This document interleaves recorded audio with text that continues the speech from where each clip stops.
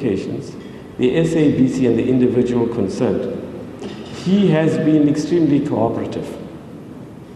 The ball is literally, so to speak, in the ministry's court. We are looking at one aspect, legal aspect, to finalize and negotiate a deal.